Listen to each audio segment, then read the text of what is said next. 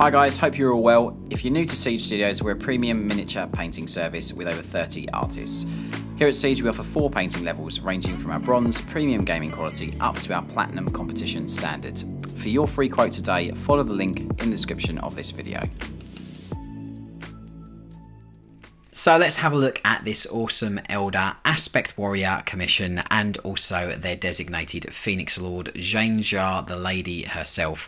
Uh, absolutely fell in love with these miniatures when they were re-released. Uh, the I've always loved Howling Banshees, so to get the new plastic ones in as a commission and also Jain Zar as well has been phenomenal. Uh, this whole project has been worked on by Lloyd, one of the artists here at Siege. I know he had a really good time working on these new plastics.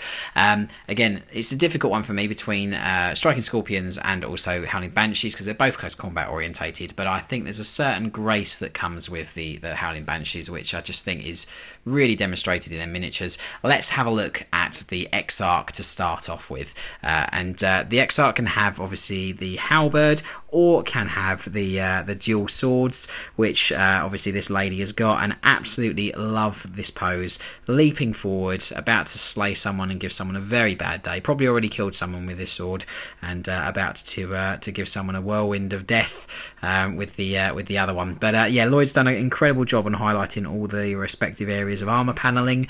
swords have got lovely sharp edge highlights on them. the hair is obviously all highlighted.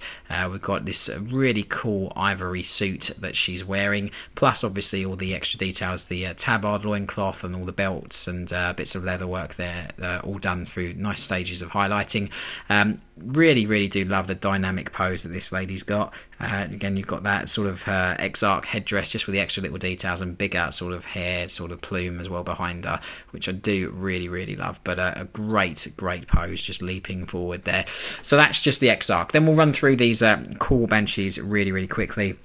Again, Lloyd had a great time doing these, all the super sharp highlighting on all the aspects of the armour, uh, which is cool. The little trinkets and uh, satchels and bags all painted in that lovely warm brown uh, sort of colour with those highlights just painted on nice and sharp.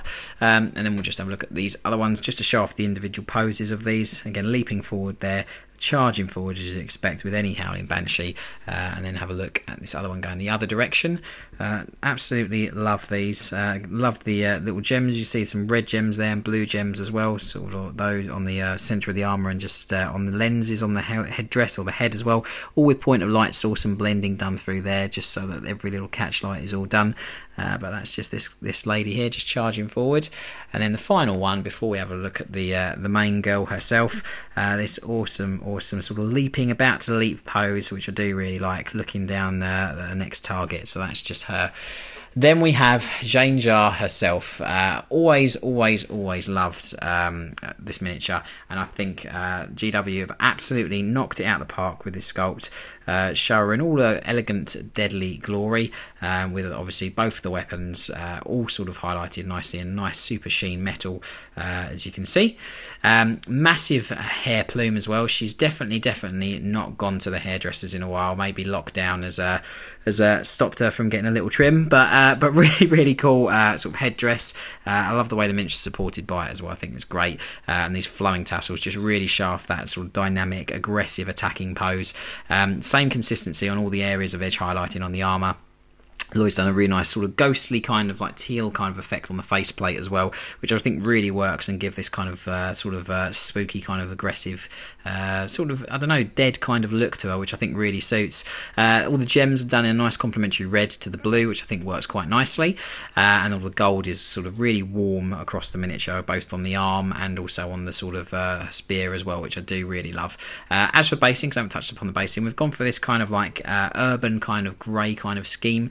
Uh, obviously, you've got some Eldar bits of scenery on her and also the Exarch, um, and then obviously they just put tufts on the bases as well as per our client request. But uh, but yeah, a lovely lovely miniature, uh, and just you can just see that subtle blending just done on these tassels as well. It goes from light to dark in there, just to really show the uh, the, the folds and where the, that, that sort of uh, tassels are catching the light, which I really like.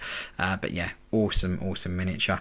Uh, so that is Jain Zar and uh, her accompanying Aspect Warriors. They're now off to go and kill some Imperials, I've heard. So uh, you don't want to get in their way.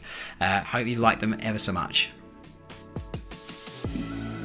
So thanks for watching the video, guys. I hope that you have enjoyed it.